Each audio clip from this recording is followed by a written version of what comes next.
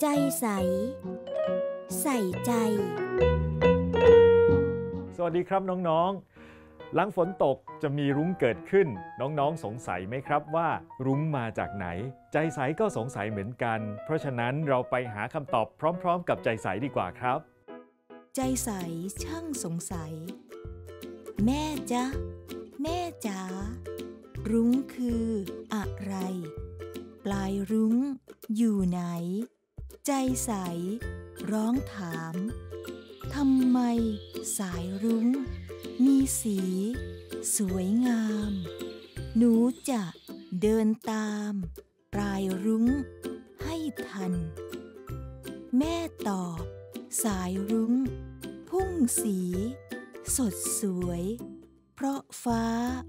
ร่ำรวย มากมาย สีสัน สีแดง เหลืองคราม น้ำเงิน รวมกัน ม่วงเขียว แสดนั้น ปั้นเป็น รุ้งลาย สะท้อน แสงสี ให้ทุกทุกสิ่ง สวยงาม เสียจริง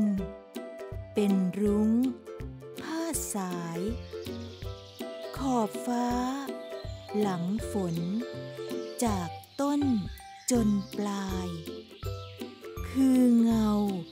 แสงฉาย ไม่นาน หายไป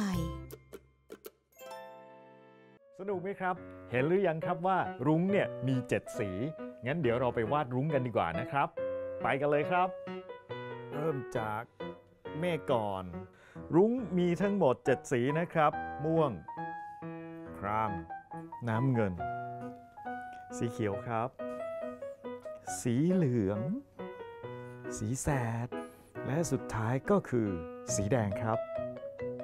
แต่พอหลังฝนตกปุ๊บ เมฆจะอารมณ์ดีครับ